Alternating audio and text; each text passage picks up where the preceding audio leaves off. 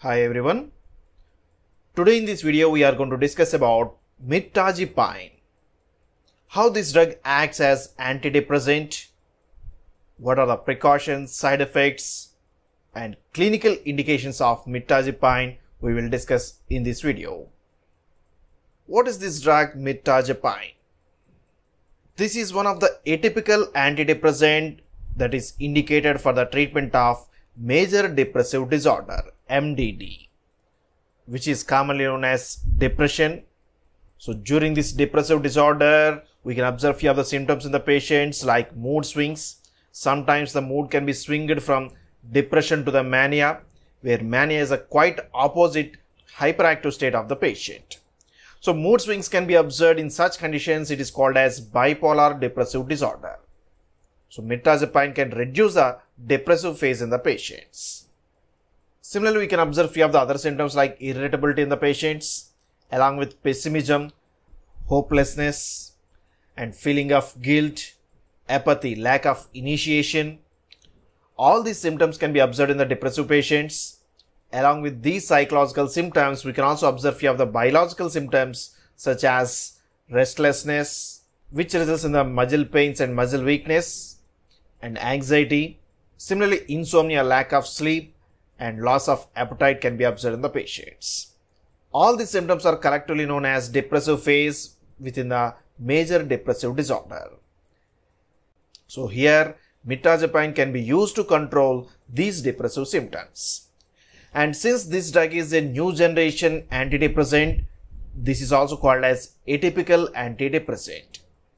So today in this video, we are going to discuss about this mirtazapine. What is the structure of this mirtazapine? So this is the structure of mirtazapine and here you can observe that this structure contains the four rings which are fused with each other. So this is a tetracyclic antidepressant.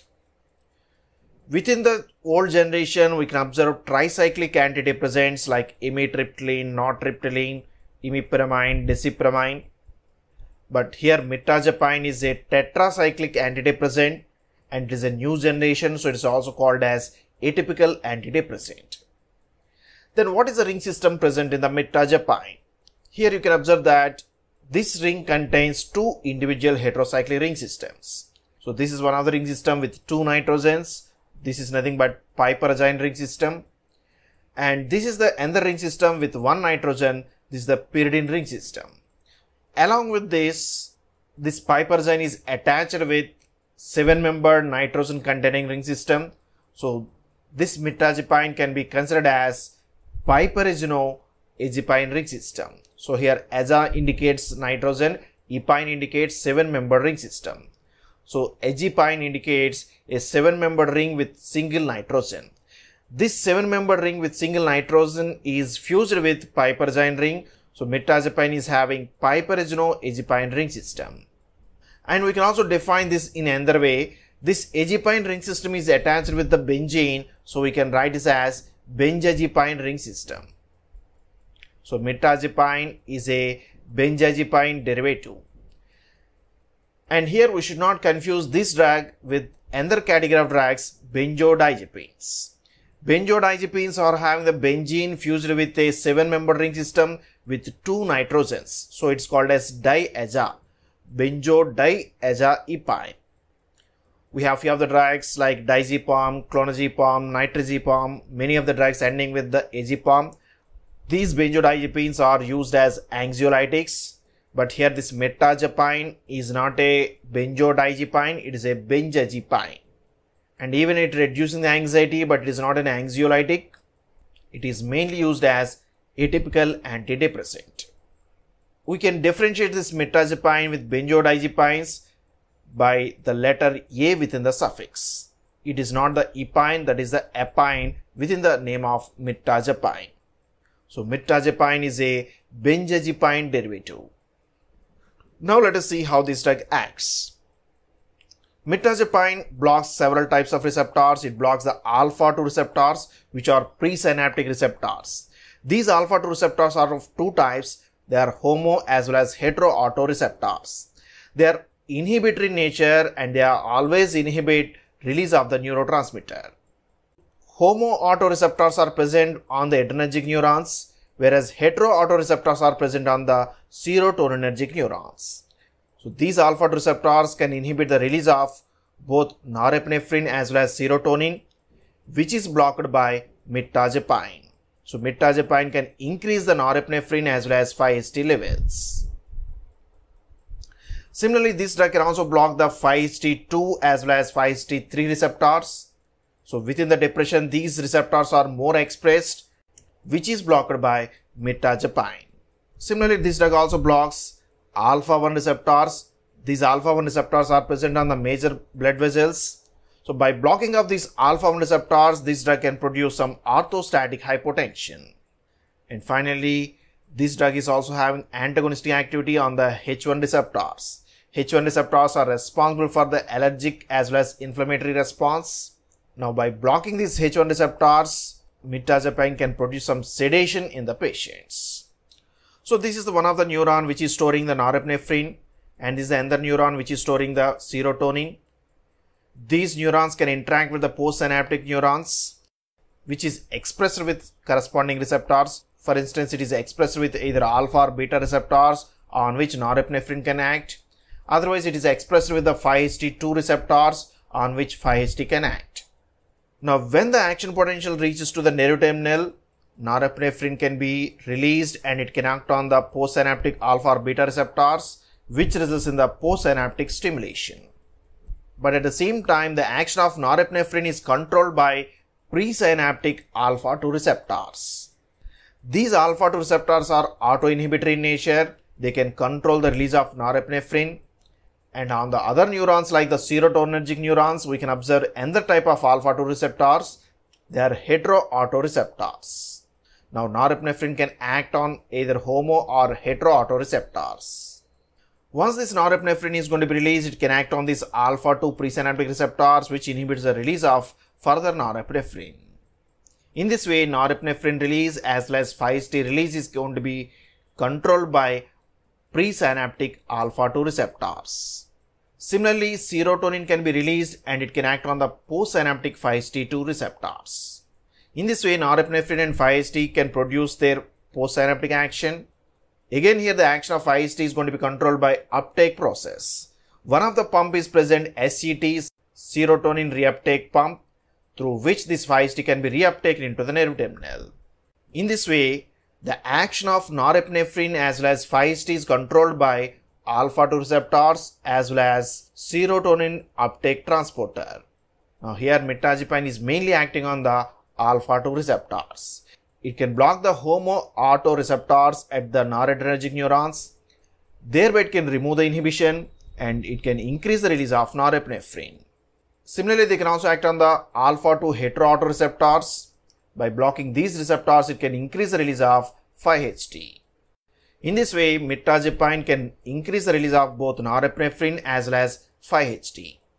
Apart from this, mirtazapine can also act on the postsynaptic receptors.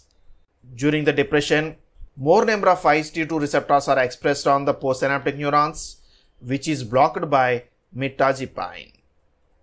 In this way, mirtazapine increases the 5-HT as well as norepinephrine levels at the same time, it blocks the overexpressed 5-HT2 receptors.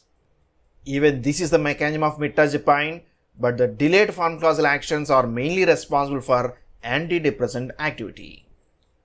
What are the precautions? One of the important precautions of mirtazapine is that this drug can produce the agranulocytosis.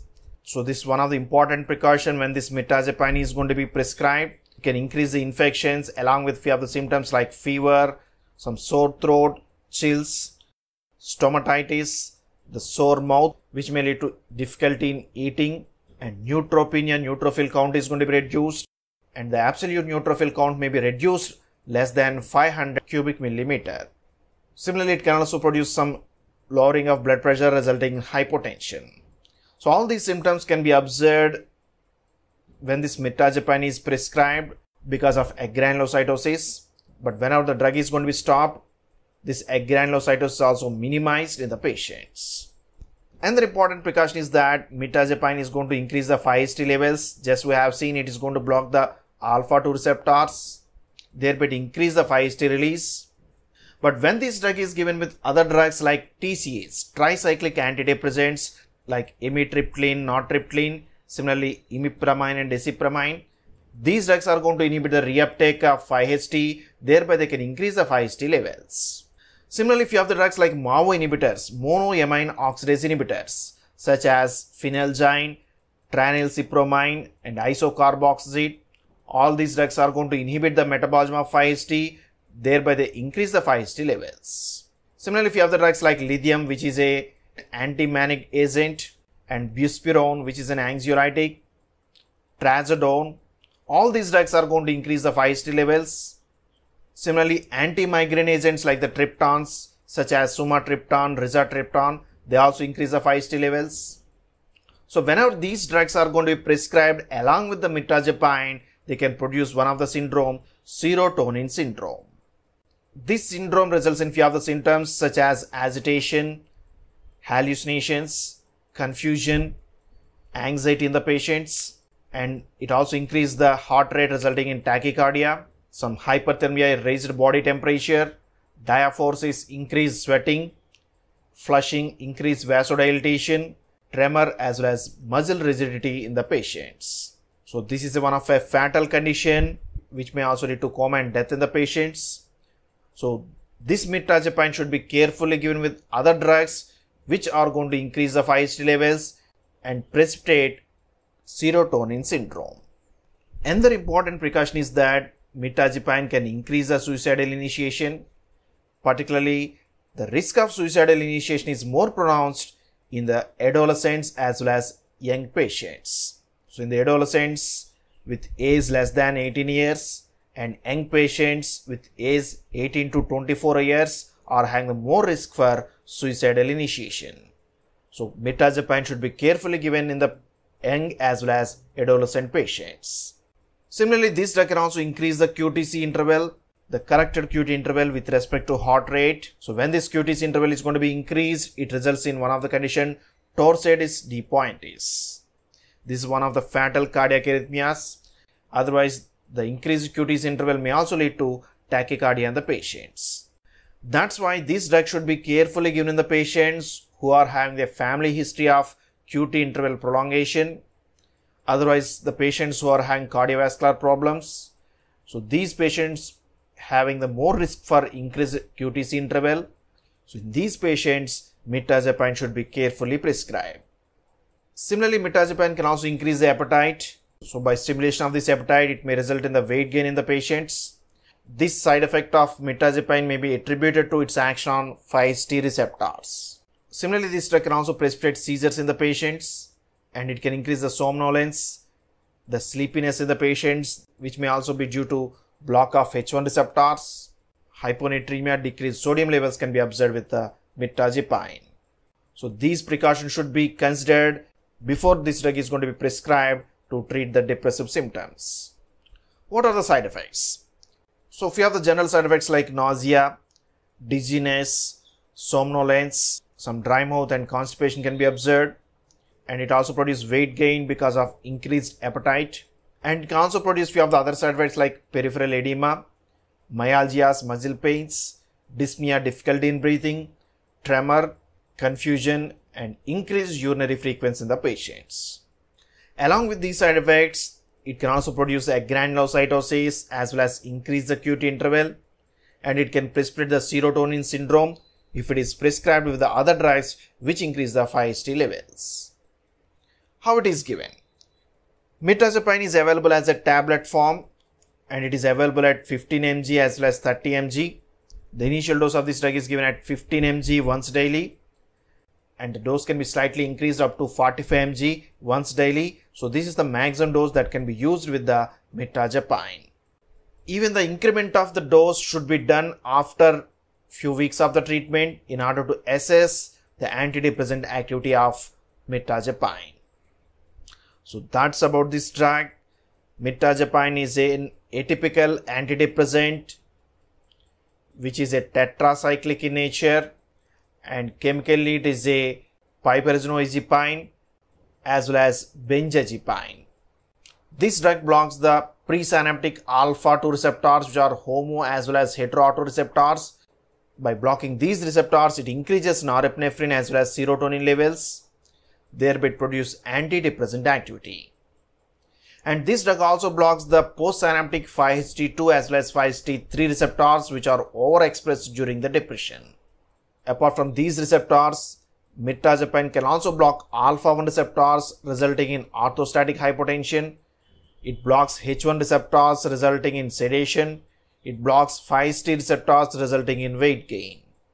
This drug should be carefully given with other drugs which are going to increase the 5-HT levels like TCAs, MAO inhibitors, antimanic agents like lithium, anxiolytics like buspirone, antidepressants like trazodone, even anti-migraine agents like triptans. All these drugs can precipitate serotonin syndrome when they are given along with mirtazapine.